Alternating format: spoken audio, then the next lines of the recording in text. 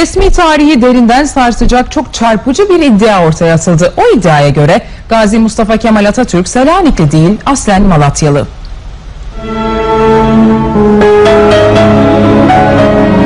Atatürk aslında Selanikli değil Malatyalı iddia çarpıcı resmi tarihi sarsacak kadar hem de.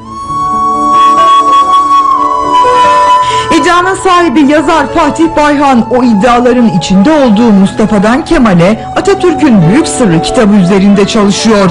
Kitapta iddialar Osmanlıca belgelere, tapu ve nüfus kayıtlarına dayandırılıyor. İddiaya göre Mustafa Kemal Atatürk Malatya Akçadağ doğumlu. Türkmen kökenli ailesi Çakıroğulları olarak biliniyor. Yeğenleri halen hayatta.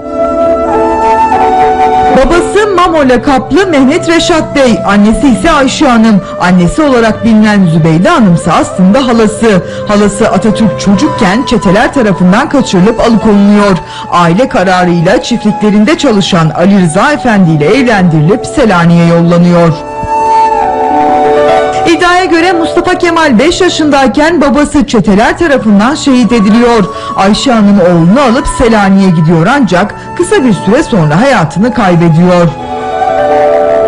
Yazarın belgelere dayanıyor dediği iddiaya göre resmi olarak bilinen süreçte o zaman başlıyor. Çünkü annesinin ölümü sonrası halası Zübeyde Hanım ve eşi Ali Rıza Bey Mustafa Kemal'i nüfuslarına geçiriyor.